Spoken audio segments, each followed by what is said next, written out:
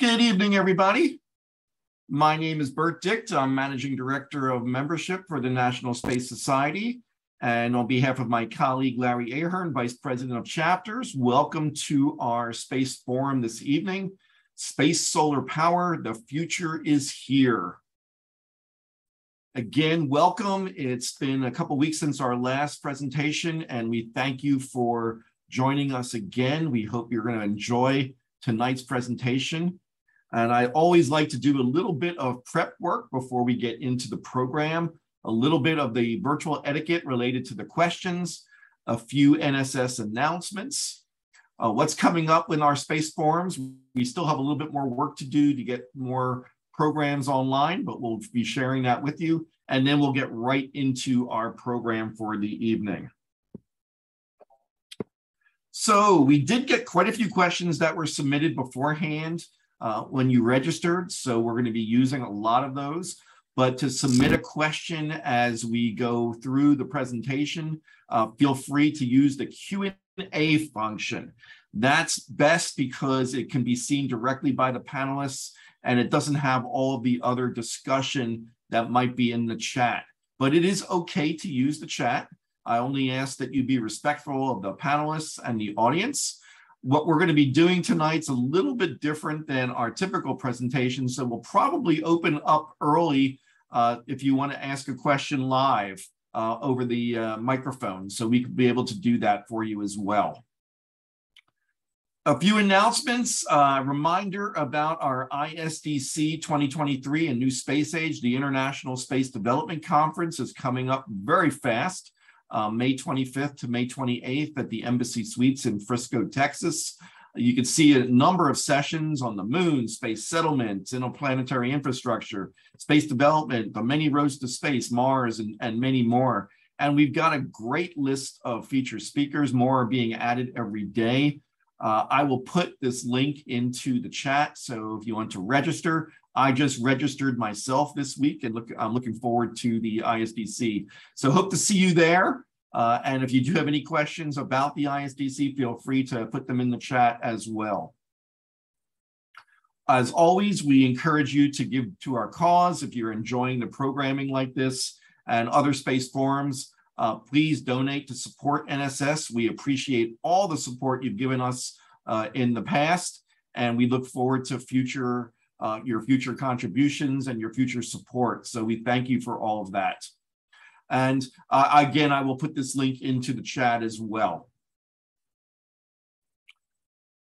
And finally, in terms of just the main announcements, uh, please be sure to complete the post-space forum survey. It only takes a few minutes. It'll pop up right after the session ends. It's completely anonymous, and the feedback truly helps us with our planning and also coming up with better ideas, better execution for all the future events we hope to have. So we thank you in advance for giving us your input. What's coming up? We're not going to do a session two weeks from tonight. Uh, that's kind of a holiday week, uh, and sixth would be between uh, Passover and Easter weekend. So we've decided to wait till the 13th of April and we're going to be doing an ISDC town hall. So we're going to be previewing what's coming up at the ISDC. We actually hope to have several of the speakers there uh, who will be able to share a little bit of an introduction to what they'll be talking about at ISDC. And on the 20th, uh, a brand new book called The New Guys by Meredith Bagby. Uh, it's about the 35 uh, shuttle astronauts who were picked in 1978 uh, it's a fabulous book. She had great access to uh, many of the astronauts and great personal stories. So I encourage you to be there. We'll be giving several of the books away as door prizes. And I've put this list up before. We are working and getting a, number of these individuals lined up. Uh, you'll be hearing more about that uh, as we move toward uh, the ISDC. So that's coming up. What we have for tonight is a really exciting program and space solar power, the future is here. And I'll introduce our panelists for tonight. We're going to be doing this a little different. As I said, it's not going to be full presentations. Uh, our panelists are going to do some introductory remarks. And then we're going to go right into the discussion and questions. And we want you to be part of that dialogue. So our first panelist is uh, Gary Barnhard.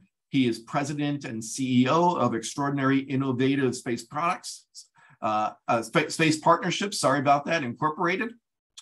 Uh, and John Mankins, uh, founder and president of Mankins Space Technology. Both Gary and John are longtime NSS members uh, and involved in both sides of what we call this, you know, the space solar power world on the advocacy side of NSS, but also on the technology side as engineers. So I think you're in for a good treat uh, and you're going to enjoy the session. So please be feel free again to ask as many questions as you want.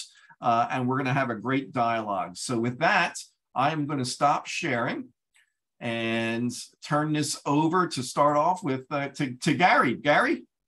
Okay, I get, get my uh, share on here. You should be able to see the screen. It is starting to share now. There we go. Perfect. Fantastic. Okay. Uh, well, in terms of you know my involvement with uh, space solar power, it extends you know back from um, you know uh, the the mid 70s with respect to the L5 Society from an advocacy standpoint. But there's a basically a problem, you know, in that era in that um, the world with respect to space solar power as a viable system was sort of the equivalent of having to accept the Mad Hatter's uh, advice, or actually the Red Queen's advice about how many impossible things you had to accept before breakfast. There's a little thing like we had to figure out how to build large space structures, figure out how to live and work in a space environment, a few problems that had to be addressed.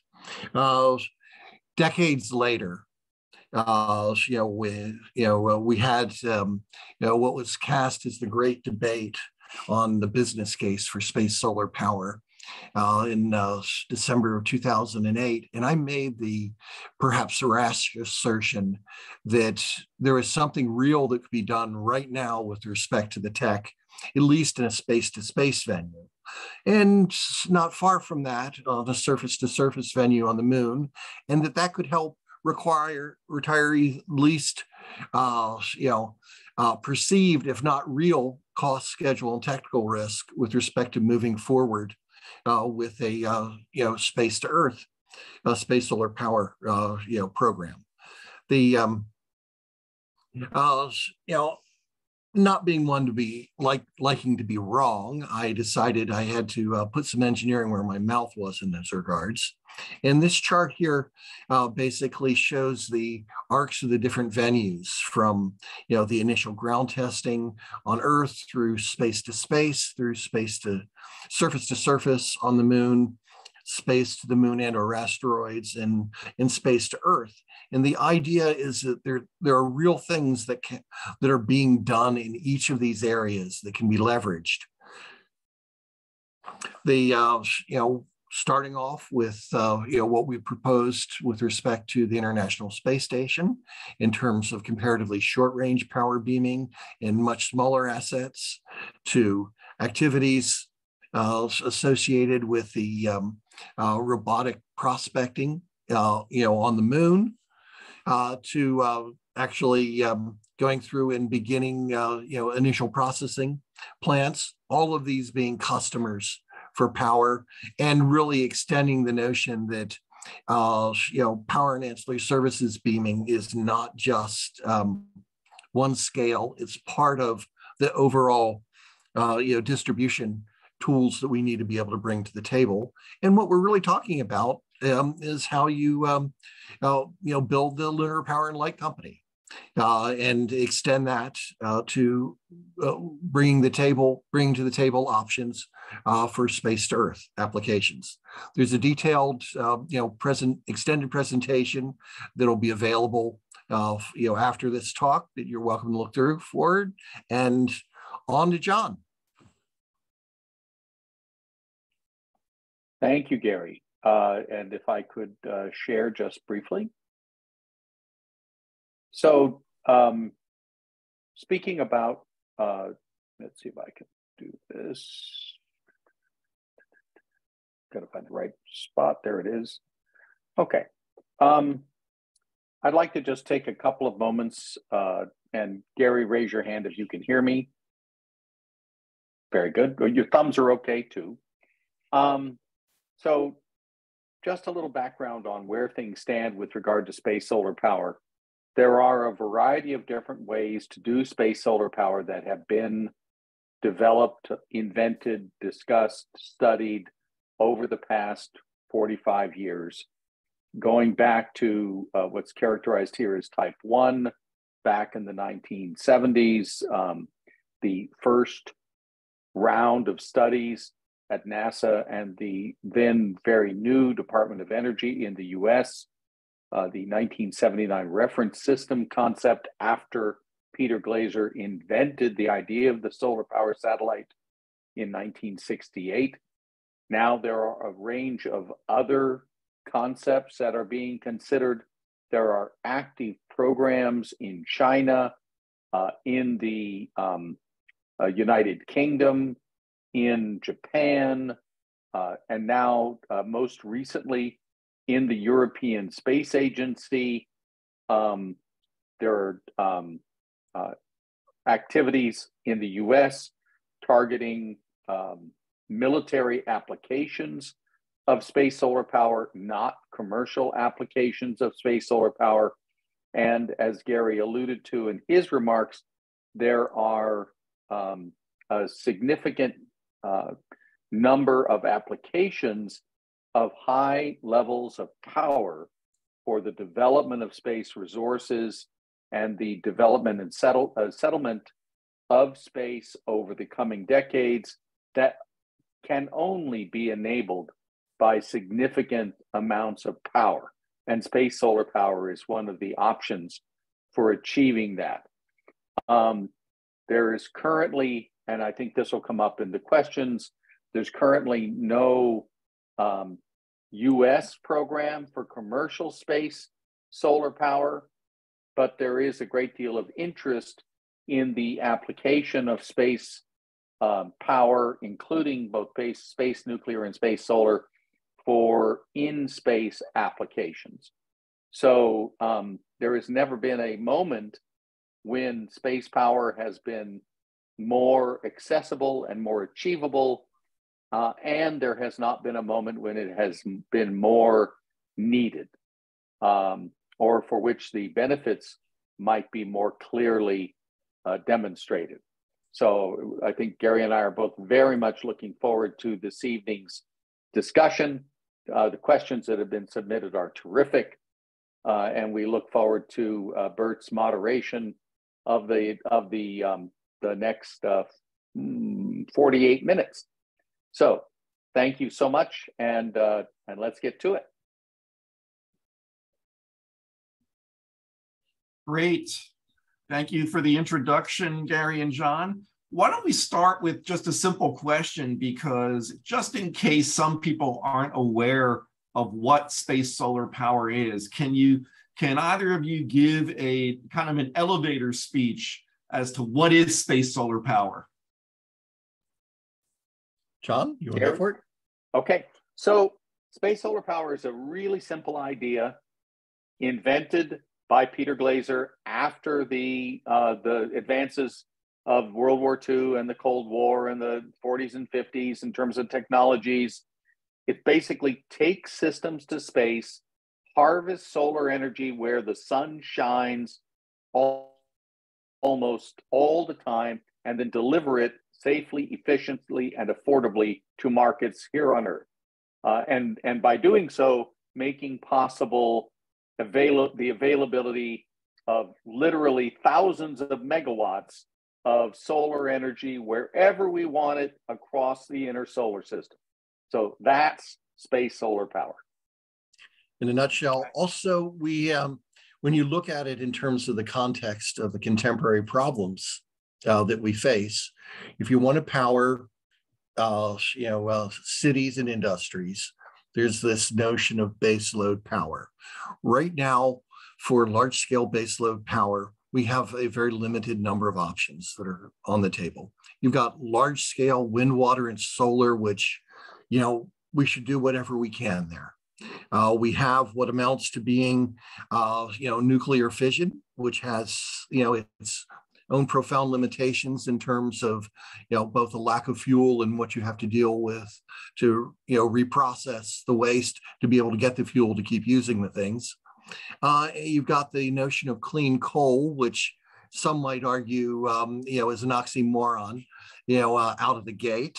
Um, and, um, you know, you can, there's, you know, you can do peak shaving with things like, uh, you know, natural gas, but that's, um, that's about, that's about it, except for space solar power, which represents something that is scalable to a level that could uh, be make an extraordinary difference, not just to meeting the electrical energy demand of the United States, but the growing electrical energy demand in the world. Uh, and, um, you know, it's not a panacea, but it's something that could make a tremendous difference in the mix should we choose to bring it to the table. I remember giving a talk way back when I was in college. I took a a uh, public speaking course and I did a talk about the space program and I mentioned space solar power. I don't know, this was maybe 1978, 79. now we're in 2023. It's something we talk about for an awful long time. What has been the holdup? What ha- what have, what have the obstacles been that have prevented us even from creating a pilot type of system? There from a United States standpoint, there's the question of who wants to be responsible for it. Uh, there is the question of, you know, as I alluded to earlier about, um, you know, the perception that there's some number of impossible things you have to accept before breakfast uh, in order to, uh, you know, realize it. The bottom line, though, is it's a complex systems engineering problem and it's a complex economics problem. So um, the the another way to approach that question, Bert, is money, money, money, money. Always so comes down to that. using the technologies that were available in 1975, when the first round of studies got started, the cost of the first kilowatt hour, getting to that first kilowatt hour from a space solar power system that would have used the technologies of that time was about $1 trillion. Now, as a potential energy barrier, I'm a physicist, as a potential energy barrier, that was insurmountable. And so it got it got laughed off the stage, so to speak, as a as a viable option for terrestrial energy, and then only was revisited 15, 20 years later as new technologies emerged and as new opportunities in terms of the system concepts became plausible. So it, it, it the first time around when you were in college, I assume you were in college, yeah. uh, although it, maybe it was grade school, who knows? uh, it, it was not really practical from a financial standpoint, even though it was established to be technically feasible. The, uh, Go ahead, Gary. Now, a way to think of it is, is that the things that have changed uh, at a fundamental level are uh, one, uh, you know, the idea that you can build things that could fly to space that aren't an art project. Uh, where you can uh, radically reduce the amount of hand tooling that's required and be able to produce things, you know, on a quantity basis as opposed to a one-off or small number basis. Secondly, uh, the um, uh, the idea that you could bring down launch costs, you know, uh, dramatically, uh, you know, represents you know uh, uh, a fundamental transformation in terms of what's possible economically. So the, those two things, plus retiring you know, uh, you know, you know, any any number of uh, you know, you know, no, you know, uh, notions, well conceived or not, about what is or is not possible, um, you know, have led us to the point now where the number of impossible things we have to accept before breakfast is actually zero. Right. why don't I get to a few of the questions because I, I, do want to come back to some of just the the progression we've made, but uh, I want to make sure we get a few questions answered.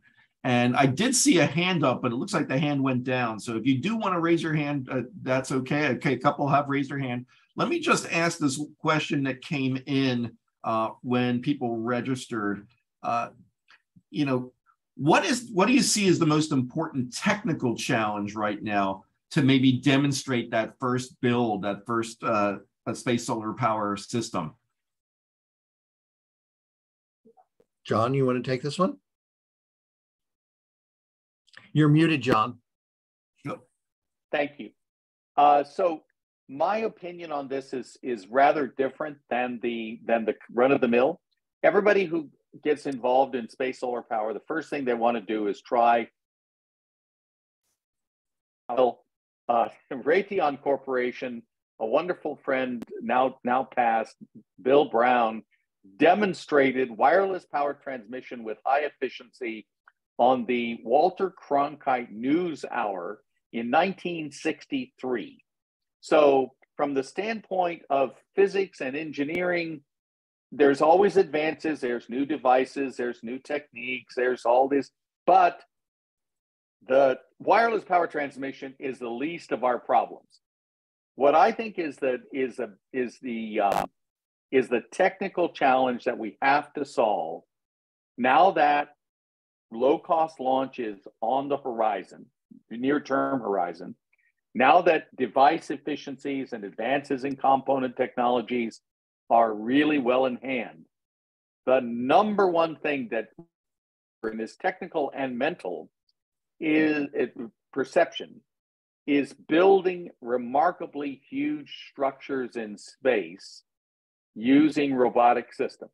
We have to be able to get past the barrier of a thousand tons or 10,000 tons being unthinkable and and actually start thinking about it. So that to me, that's that's the number one challenge. And um, the work that's ongoing uh, globally on in space assembly and and orbital um, structures and all that, that's all terrific. But they have to be stupendously huge by comparison to the biggest thing we've ever made, the International Space Station. Very yeah, I, I use slightly different words. Um, I uh, call it, uh, in a sense, orchestrating. Uh, what's needed is orchestrating symbiosis, shared control between humans, robots, and advanced autonoma that's going to enable, uh, you know, the uh, the work that John was describing. Great, thank you. Uh, let me open it up to a couple questions. People have raised their hands. I don't want them to have them up too long because they, they'll get tired. So I will let them talk. Jeff, I'm going to let you ask a question. So make sure you unmute yourself.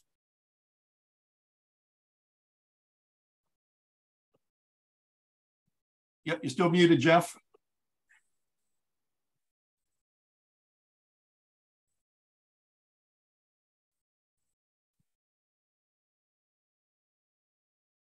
Jeff, you there? Glad it's not just me. the technology. Well, let's tell you what, let me let uh, Aiden ask a question. Jeff, we'll come back to you once you're able to unmute. So I'm going to let uh, Aiden ask a question. So I'm allowing you to talk. Aiden, you'll need to do the same thing. You need to unmute.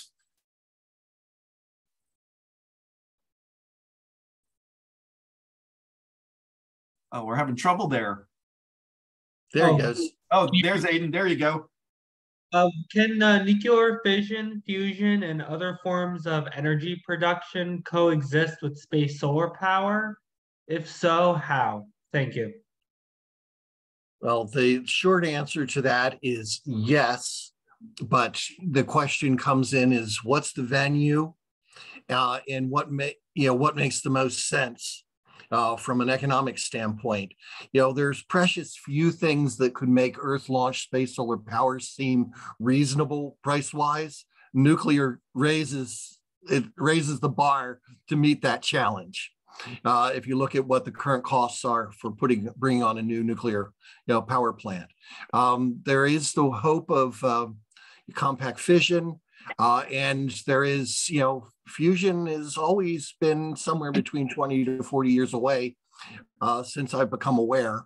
Um, you know, the uh, it, where I think it does come into play, particularly in the space environment, um, you know, on uh, uh, this, you know, on the moon, we may have, um, you know, uh, nuclear systems uh, require heat exchangers, heat engines.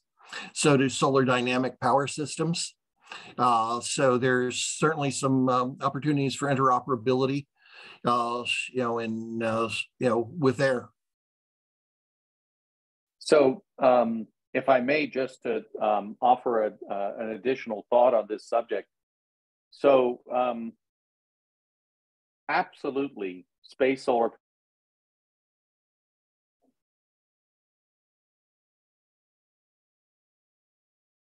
ground terrestrial uh, PV energy sources. The opportunity with space solar power is to have a, an affordable, dispatchable, renewable, i.e., carbon net zero uh, energy source, because a solar power satellite can deliver power to any place on the ground that has a receiver that it can see. So, unlike other ter- other energy uh, options, other power plants, uh, like a, a, nuclear power plant uh, in uh, uh, California or a, a terrestrial solar plant in Spain, they can only deliver power locally within the limits of the existing power grid.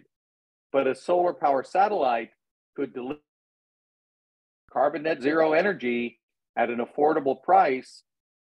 This morning in Chicago, this afternoon in Hawaii, and overnight in South America uh, from the same power station.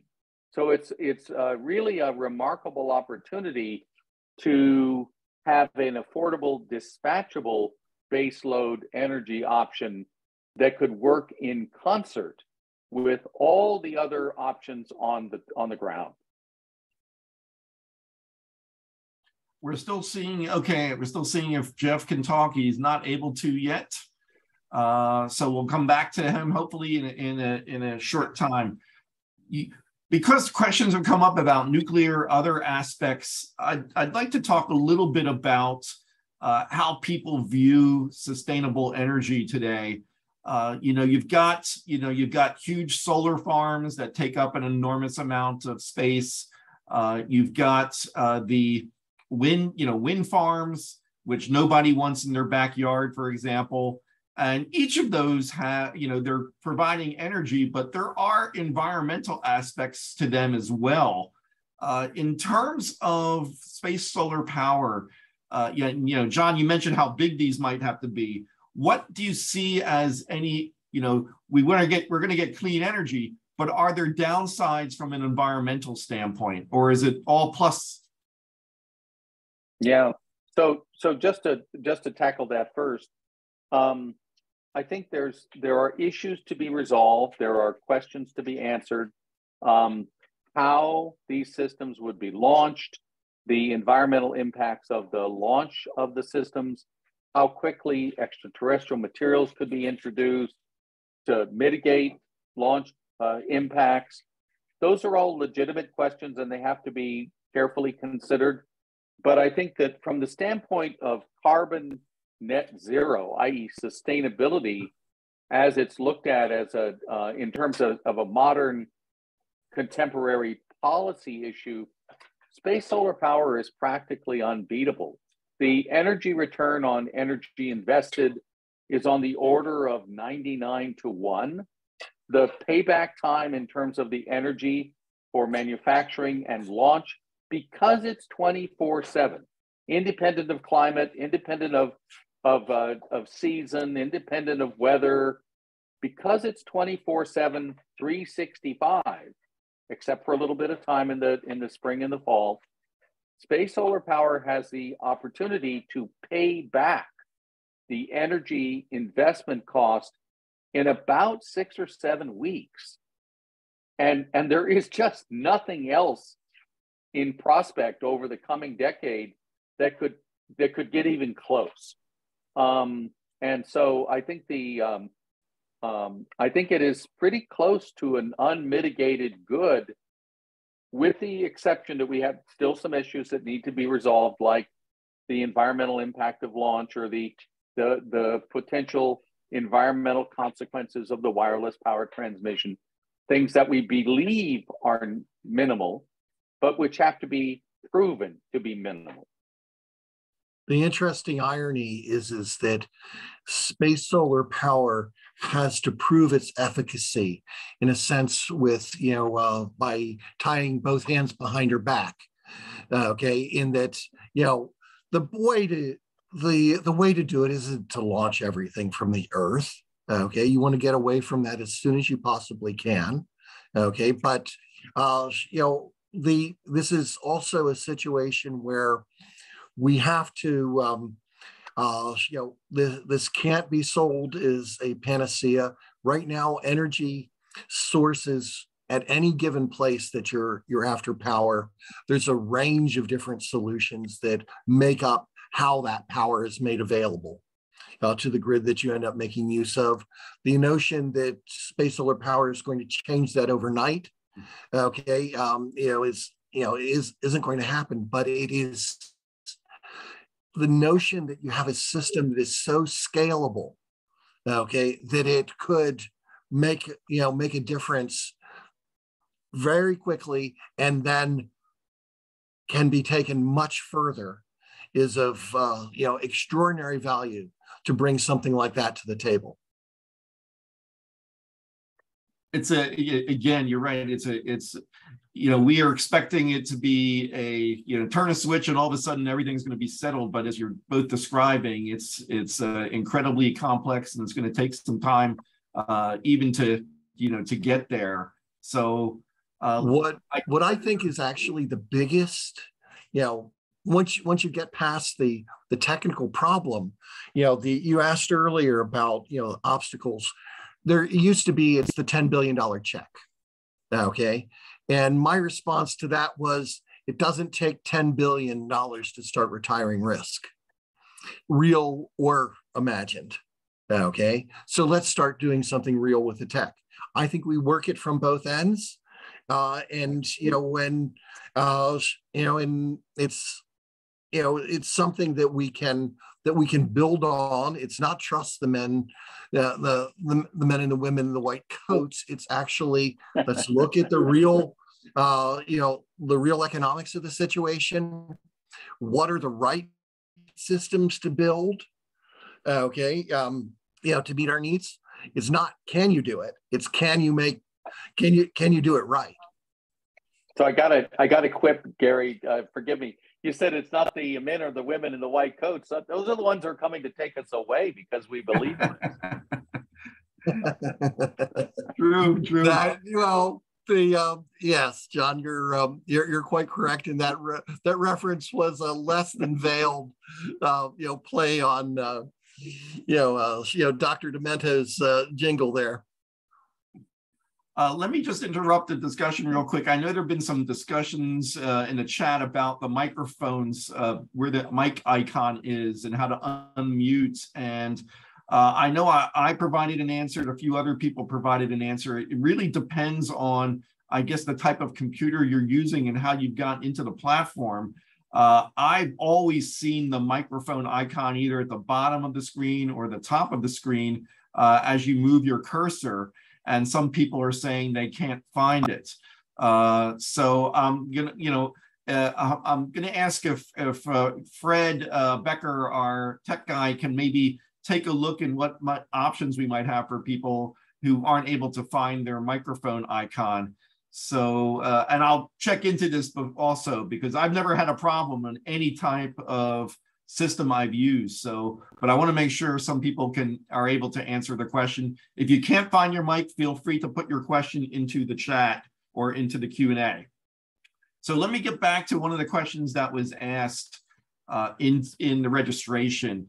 And John, you mentioned about all the countries that are doing studies with space solar power.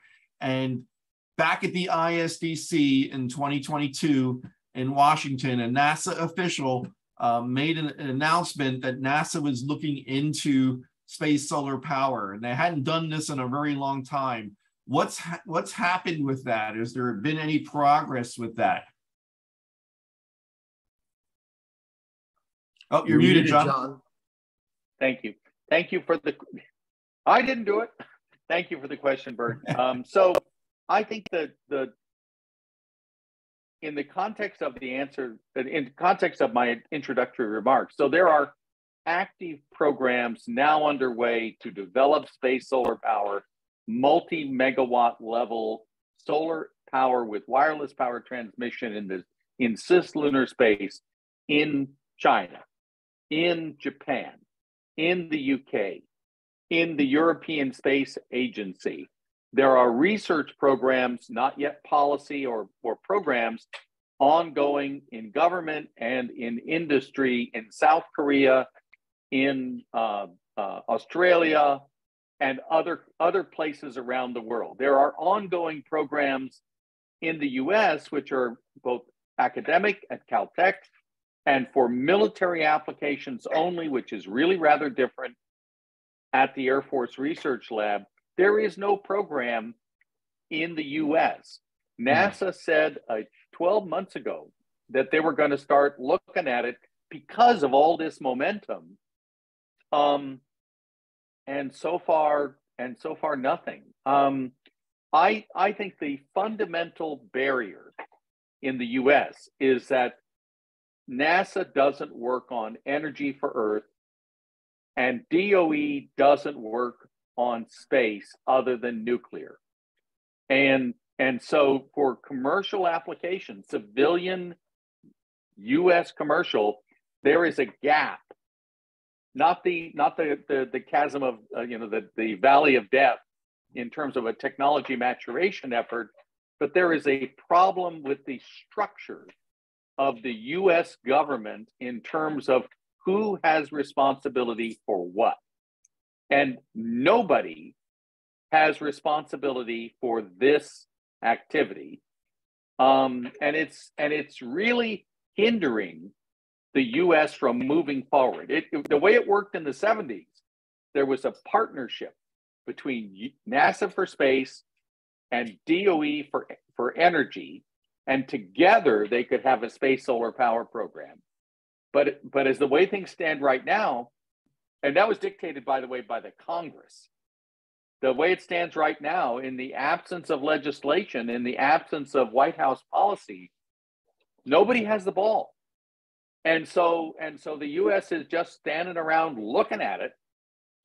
And and lots of people know about it, and all the rest of the world is China, Europe, Japan, and so on they're all moving forward with it and the and they're all planning demonstrations in the next four five six years major demonstrations and the only one who's going to be not even working on this technology and this system concept that was invented in the us is going to be the us John, is there a recognized leader right now? Who who would you say from a from a global standpoint is leading in the concept of space solar power?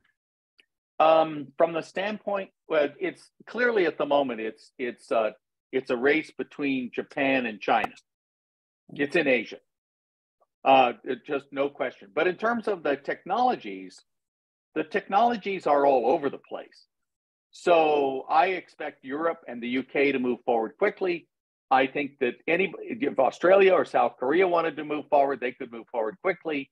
This is not like fusion. Gary alluded to fusion earlier. This is not like fusion, where some fundamental 10 or 100 billion dollar investment in research has to be made. The research is done, the physics is known, it's engineering. And and it's uh um so so the but the lead today the lead is in Japan and China. And what we need from a US standpoint is how do agencies that have legacy positions that uh, you know are they're different they're difficult to walk back from okay that they've taken in the past. How do you go through and create some form of interagency fora where someone steps forward before there's a an approved program to allow uh, and, involve an evolving set of positions from NASA, DOE, Department of State, and get you know uh, you know get the get the ducks in a row there. Uh, you know you're not going to have a um, you know a a new program until the different agencies involved figure out how they can you know in, embrace that possibility um, and you know have it make sense for them do we need a space solar power X Prize? Would that be something that might spur uh, the uh, the concepts? So I I'd like to to speak to that. So I was I was involved last year in the um, in at the X Prize Foundation effort to formulate future X Prizes, and they recently came out with a report from last year's activity. It was about four weeks or six weeks ago, and space solar power has been identified as a candidate X Prize. Um, I think the so so there's a there's a, a an opportunity there, but the the the issue is how much money to accomplish what, by when, and then what's the follow on? There, to have a successful X Prize, you've got to have a, a sponsor, you've got to have a, a prize defined You've got to have a sponsor who's willing to write the check, the foundational check. And then you've got to have a future business case to, to make it work. Um, but that but the the idea that you articulated, Bert, that is on the table already. Okay. Great. Let me get a few questions that have come in. Uh, a number of people of uh, let's see, raised their hand. Uh, Jim are you available to speak? I can, you know, you're you're able to talk right now if you wanted to ask a question, but I don't know if you can unmute or not.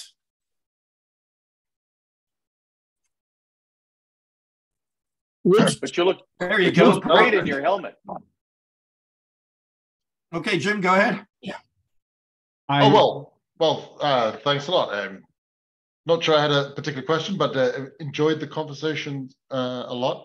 You know, John, um, I think you're, you know, you make some really poignant points about uh, where the United States is in the game. And I think the opportunity is so huge in front of all of us um, that it really, it really does make us uh, scratch our heads as to what can we all do to accelerate uh, the entry points into the game. Um, what would you what would you see, John, as the uh, main ways to accelerate U.S. involvement, either commercially or governmentally, into space solar power? So I, I would just say that when we when we when we brought space solar power back in the U.S. in the 1990s, it was because, or it was a result of congressional leadership and White House support. The congressional leadership came from a Republican, Dana Rohrabacher, Southern California. And the White House was a Democratic White House. Steve Isakowitz and his team at OMB in the Clinton White House. And there was no issue between Republicans and Democrats in seeing the importance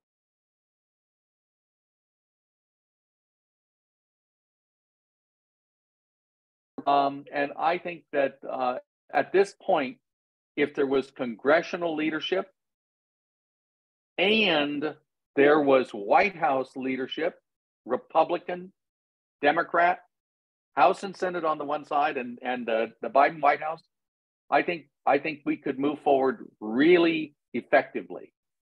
Um, so I'm I'm uh, hopeful that a champion will emerge on the Hill, one or more champions, and that the message can be carried um, uh, by coming from Congress uh, to the White House that there is an actually new option for all the things that this White House wants to see happen. So fingers crossed.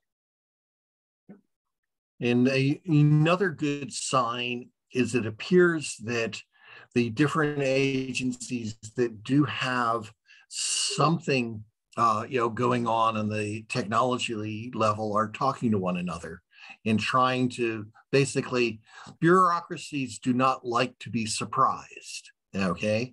So if there's any danger of there being any executive branch or legislative branch guidance coming down the pipe, they want to they want to have answers uh, with respect well, to. Uh, Gary, forgive me, forgive me. When this happened in the 90s, and space solar power and uh, and the whole approach that is now the common approach, i.e., modular systems and automated assembly.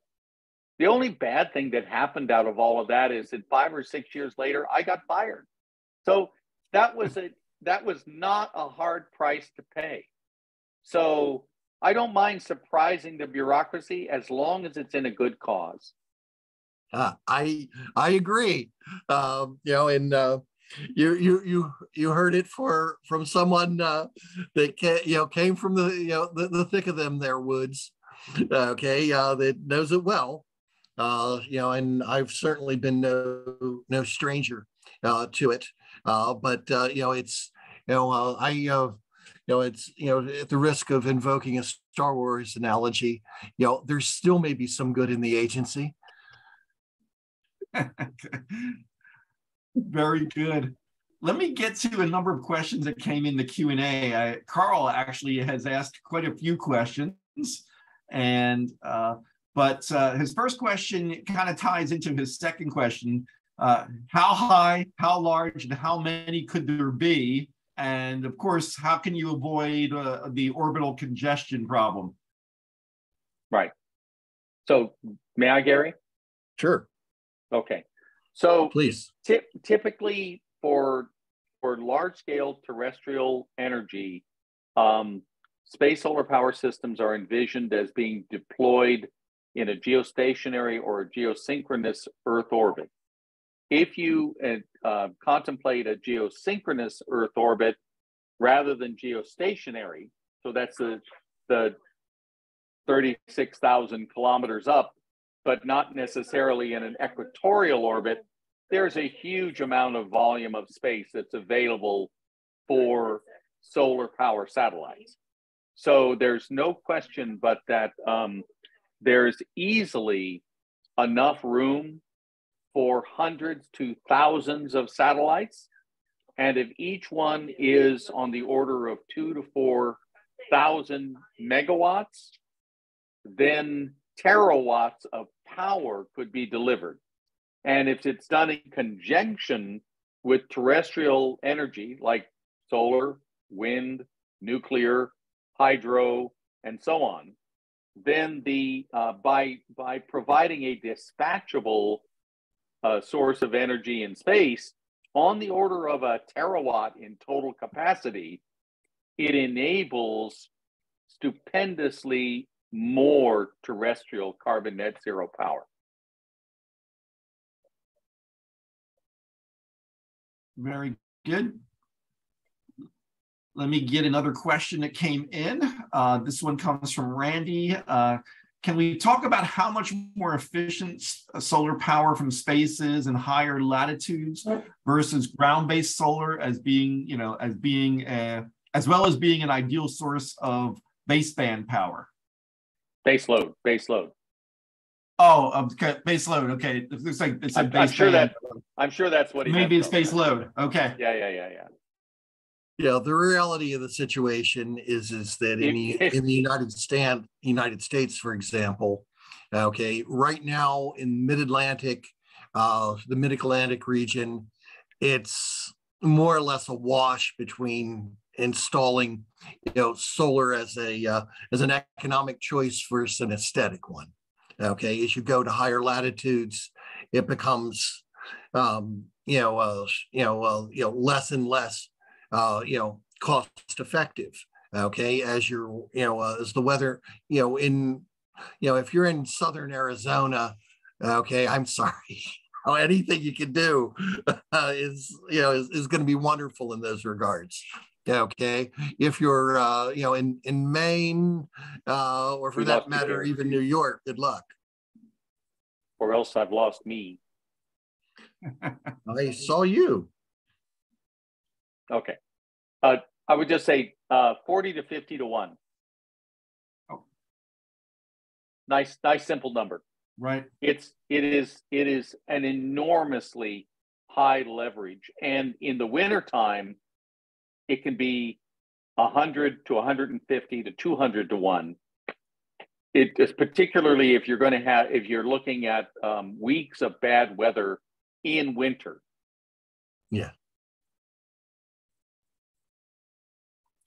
maybe this question ties into it. And this one actually comes from from Fred, and it, it is uh, this one is is to you, John. But uh, Gary, welcome your comments too. How do you counter the efficiency argument of Elon Musk against space solar power? He says, in essence, why not just put the solar power solar panels on the ground? Yeah, this is this is of course closely related. The the simple answer is that the numbers that Elon articulated at that moment a decade ago were just wrong. That that you know if you're if you include weather and you include the seasons, terrestrial renewables are there sometimes, and then sometimes they're not there for weeks, not hours. And so it's uh, um, there's just a there's such a huge variation. It's not a question of every day is an average day. Every day I'll have 12 hours of daylight and 12 hours of nighttime, which is kind of the essence of what of, of what Mr. Musk said. Rather, it's at the best day in June, you might have 12 and 12.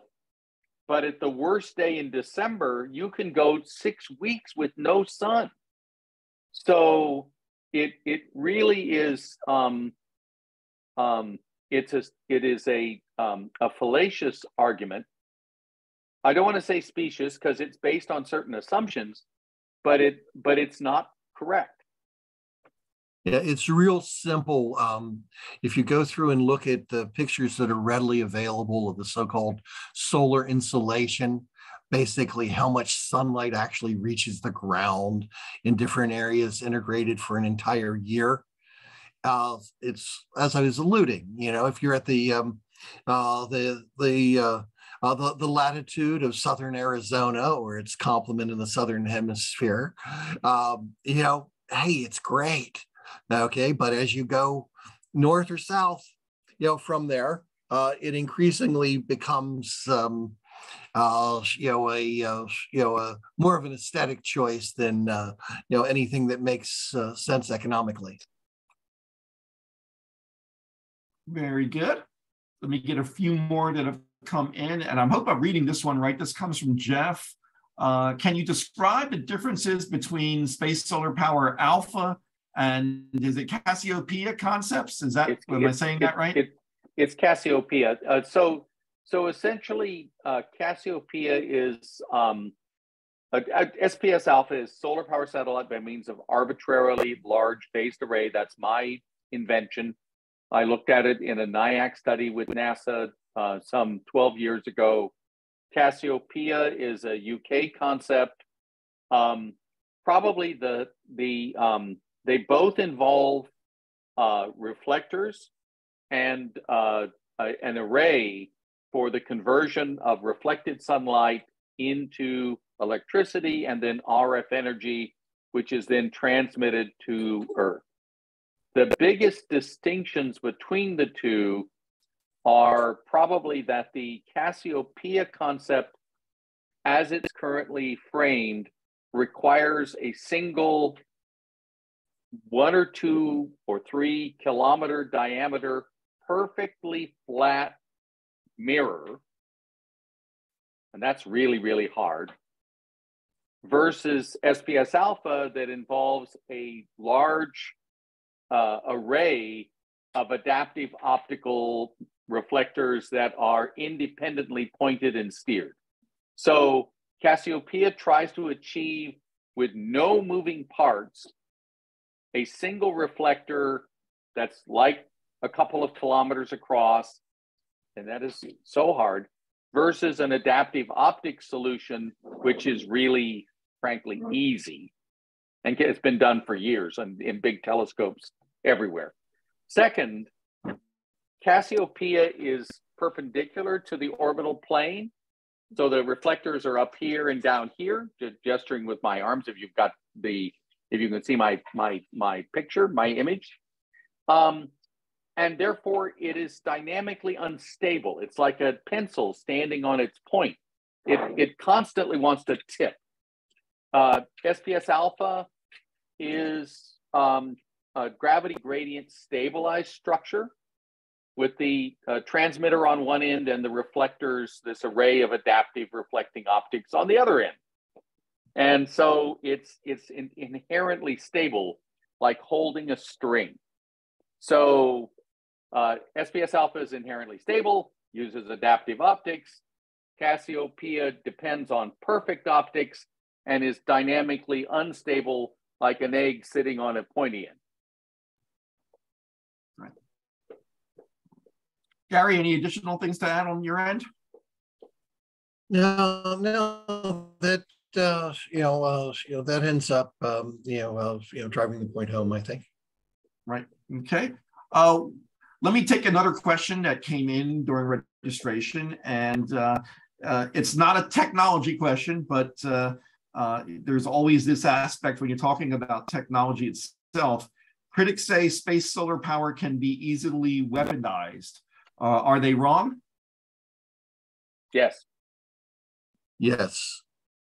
And part of uh, you both agree on know, that. Part of, yeah, the in part basically, uh, you know, in one of the things, you know, in order to make space solar power work, it has to be a cooperative, uh, you know, to to achieve uh, you know, the alignment that we want with respect to the beams, get everything uh, together. It requires, uh, you know, cooperation between, you know, the the source and the target.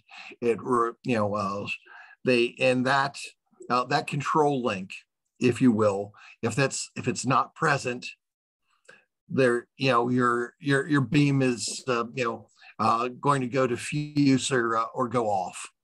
okay, there is uh, there is a a path where uh, the world is you know, going to evolve in a geopolitical sense that could enable different frequencies and different approaches to things, but we're not. You know, we're not there yet, and no one's advocating, um, you know, from a civilian perspective for anything like that.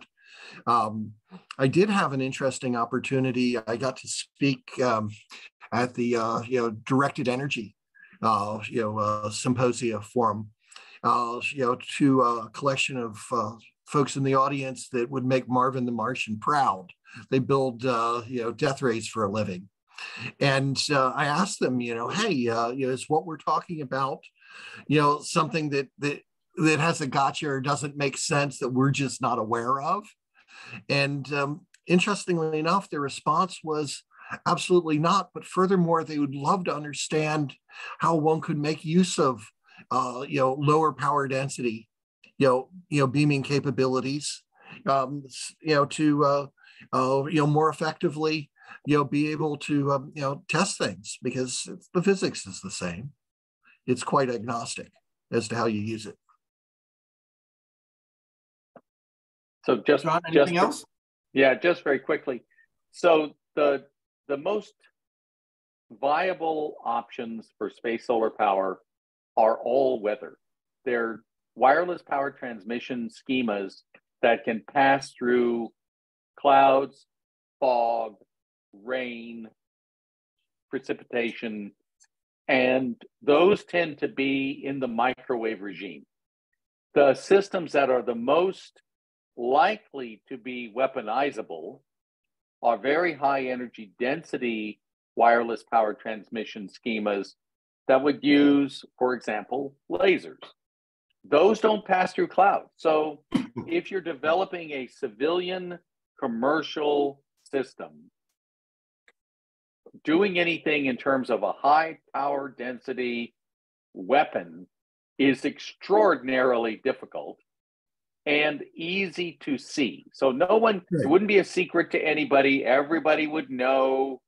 Uh, and so, uh, and so basically, in general, what I said before was, can it be weaponized?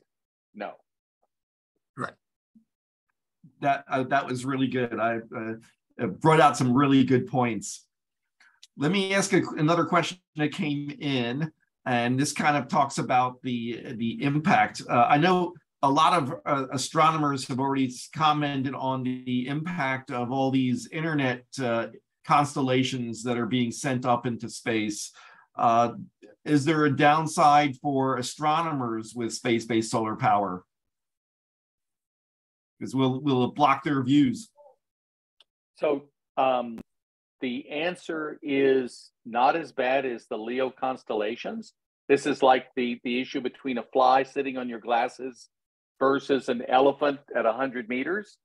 The the fly on your glasses is is going to be a much bigger obstruction than an elephant at 100 meters, even though the elephant is bigger. So, one, the, the solar power satellites in GEO are much, much larger, but they're much less um, obstreperous in terms of terrestrial telescopes. But more importantly, the ability to build kilometer scale arrays is going to completely transform astronomy. The idea that we would be happy with a, a six or seven meter diameter optical system for $10 billion, i.e., the James Webb Space Telescope, as wonderful as it is, 15 years from now, that'll be completely passe because it will become possible to build extraordinarily large optical systems from the visible to the to the to the far RF uh, in higher frequencies as well. Um, it's all these the the ability to make these big systems, which will be affordable because of space solar power, is going to be completely revolutionary for astronomy. Bottom line is you can make electro optical interferometry real. Okay. And aperture isn't everything in astronomy, but it's an awful lot. And you know we're uh, you know the yeah, the, the tech uh, that we'll be bringing to the table would be enabling for that. I think John, the other question I see here, I think you mentioned this already, but does does weather on Earth uh, affect the receiving power?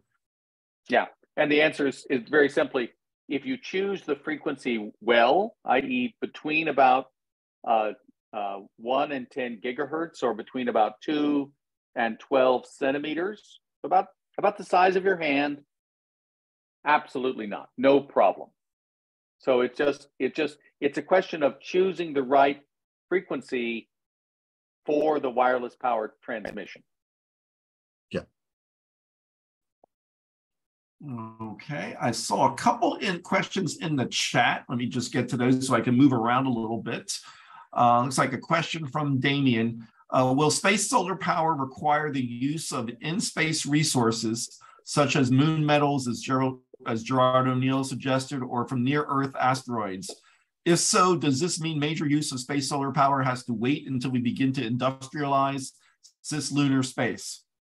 No, it doesn't have to wait. And we would go through and the initial systems would be built, uh, built from the earth. And if it came down to it, they could all be built that way. But the reality of the situation is, is that we should do what ends up making sense, which is transition to being able to make use of extraterrestrial resources as soon as the opportunity presents itself. Yeah, and I would I would even go just slightly farther. Um,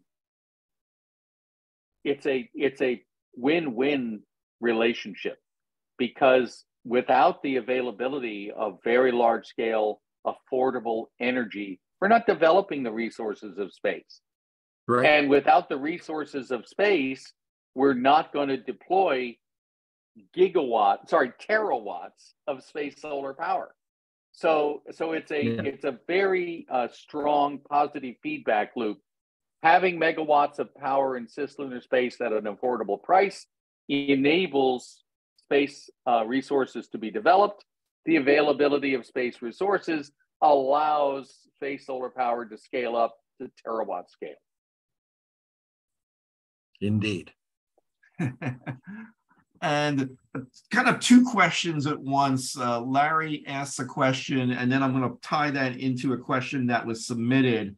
Uh, how can the power generated be protected from rogue users that do not help pay for the infrastructure?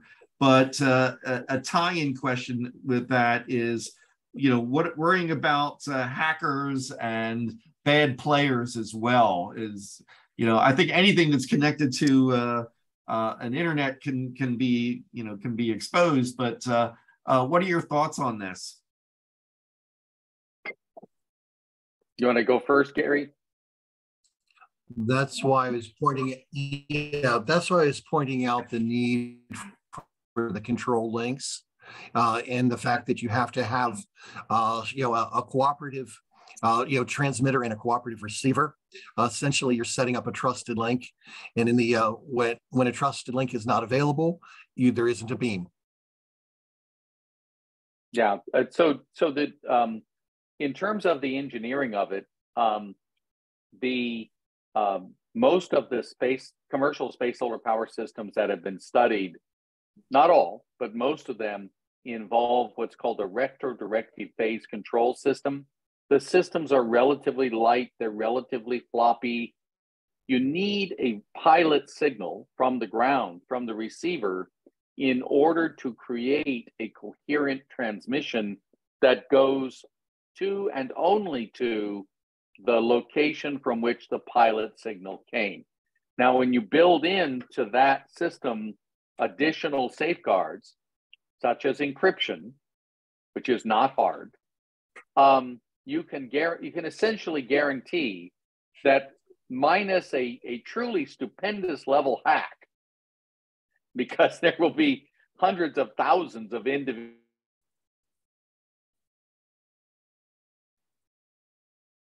that you should be able to guarantee no one can use the power unless they've paid for it. The reality, the situation is, is that, you know, the, uh, uh, the, the receiving stations will be tied into the terrestrial grid, uh, you know, for distribution purposes. Uh, and, you know, as a consequence, you know, that, you know, that's how it ends, you know, um, you know, well, you know, it would you know make make use of that. And you know what it does afford though is opportunities. Uh, there's an awful lot of electrical grid work that requires significant modernization, uh, and you know being able to uh, you know leverage uh, you know the uh, uh, that to um, you know uh, you know a um, be able to provide for appropriate siting of receiving antennas and you know it it basically um, you know recasts the whole notion of what's known as wheeling power which is you know how uh, the uh, intergrids uh, you know shift power uh, from from a generation site to uh, where uh, a portion of a grid where it's needed. Um, typically it's about 400 miles is the limit these days you're there's fancier ways of getting past that okay but um you know it uh, it it drives up uh, it drives up your uh, your cost and complexity uh, you know uh, you know quite a bit when you try um, and uh, you know push push power further let me go to a question that uh, Morris put in that's kind of interesting. Uh, assuming we overcome all the societal and economic challenges, and we can move forward with building SSP. Uh, if automated and robotic assembly is the way forward, how do large space settlements justify their existence? You know, how does near zero human workers lead to, you know, to, to colonies or settlements? Interesting perspective. So the so this is this is a reference back to the the vision of what would be the economic model for space settlements in the 1970s. Uh, I think that in this era of exceptionally low cost launch, about to drop again by another factor of five to 10, that there are so many economic models for space settlements that a bigger question is how could such settlements ever occur unless the cost of electricity is pennies per kilowatt hour. If the cost of electricity is five or ten dollars a kilowatt hour, and by the way, the cost of electricity on the International Space Station is on the order of 25 to 50 dollars a kilowatt hour, space settlements are never going to happen. We are it is absolutely enabling for space settlement to have very very low cost megawatt level power.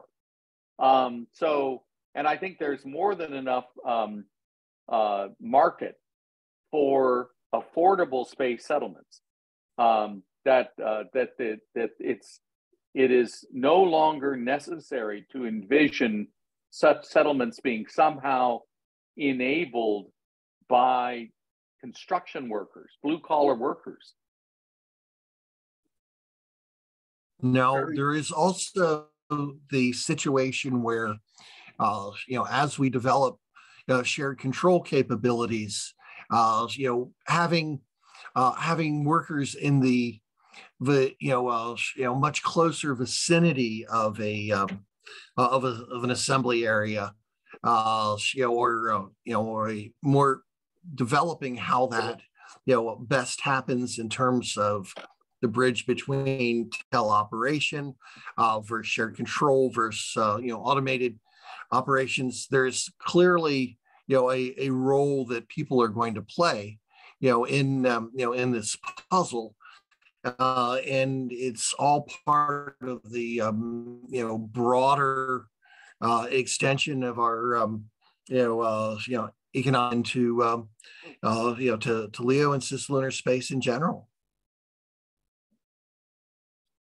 Very good. We are getting close to our end time, and I want to just try to wrap things up with some questions that have come in. So we've talked about what space solar power is. We've talked about the, the technological and uh, economic issues that have been obstacles uh, and that remain. We've talked about environmental. We talked about militarization and uh, uh, and you know and societal issues related to it.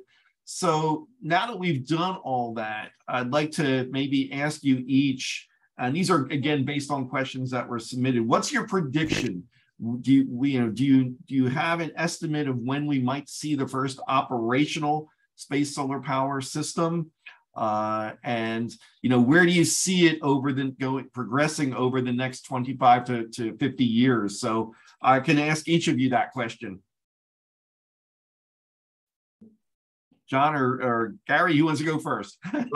Gary, you first. Okay, sure. Uh, you know, in the in the near term, what I think we're going to see, um, and we're beginning to see now, are space to space, uh, you know, venue, uh, you know, demonstrations, uh, you know, extending to surface to surface applications on the, um, uh, you know, on the moon. Uh, there's going, basically what we have to do is reduce the systems engineering of power and ancillary services beaming to practice to, uh, you know, on a terrestrial basis, if you have an electrical power load, you've got a power quality spec in a distance uh, you know, from your uh, power generation source. With that information, you can go to a wire gauge table that tells you what kind of material, what kind of wire you can use, how far, how what the distance has to be, what your circuit breaker uh, needs to be on it, and any derating that's required for the environment. Okay, we need whether or not you're talking, uh, you know, microwave, millimeter wave, you know, IR up through iSafe optical we need to be able to reduce the systems engineering of fieldable uh, you know, t- you know, technologies in those areas to practice, and that's what I think what we're we're going to see, uh, and that, uh, and in in addition to that, you know, we're going to see a geopolitical alignment that you know, uh, you know, centers on the fact that there's something real uh, that can be done in the space to Earth stuff, and the uh, the, the challenge is you know, can we um, uh, can we work out uh, the uh, systems engineering and the uh, the economics of it to build the the the most viable systems going forward on that. And I think we'll see that beginning within the uh, the next 10 years. Okay. Thanks, Terry. John? Um, I think that space, well, space solar power is already here.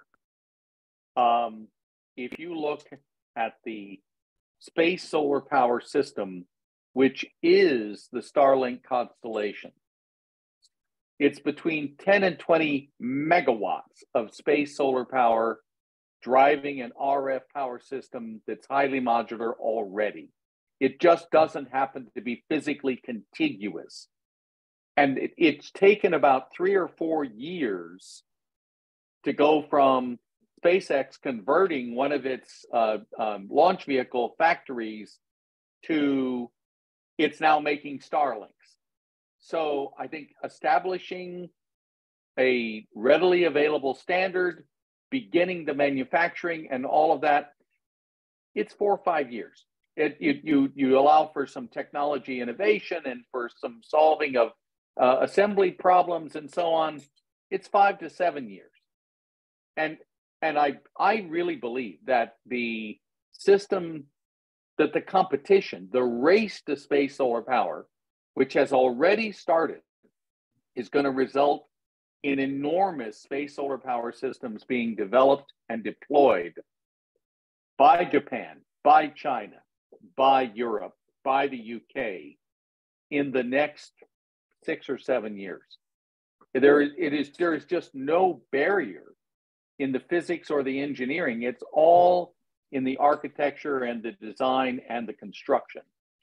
And so um, it is, um, it's going to be a really remarkable decade with the uh, advent of multi megawatt affordable space power by others in cislunar space, and the US having the launch vehicles during I was during just gonna the ask next that. decade. Yeah, because it's During at least this next decade. Yeah. Right.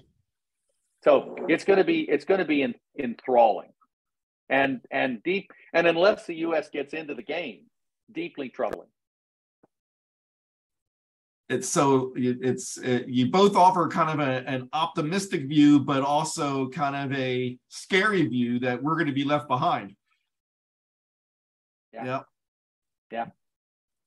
Well, very, very good. Thank you so much, uh, Gary and John. It was a really uh, interesting discussion. I hope our audience uh, learned a lot. I sure did. I found it very fascinating. So I do appreciate uh, your your contributions tonight and your and especially your expertise and knowledge in this area. It made it, it made it a lot of fun to have this discussion. So so again, thank you both for taking the time out to be part of this space forum. Uh, as always, I like I want to thank my colleagues Larry Ahern, uh, our vice president of chapters, and Fred Becker, uh, who all who supports us technically on these space forums. We couldn't do it without both of you. Uh, thank you both for doing that. And what I want to do now is just share my screen real fast uh, and uh, just close out the evening. There we go.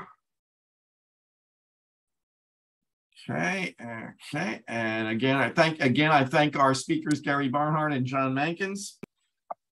And so for everyone who joined us tonight, uh, again, thank you so much for attending. Uh, we hope you enjoyed it. Hope you learned a lot. So wishing you a great evening for those in our time zones. I know we always get a number who are in tomorrow's time zone. So have a great day ahead. And of course, have a great weekend coming up and stay safe. We'll see you again on April 13th uh, for our town hall on the ISDC. So look for the announcements. So everybody, wishing you a, a great evening, a great day, and we'll see you next time. Take care. Thanks so much. Take care.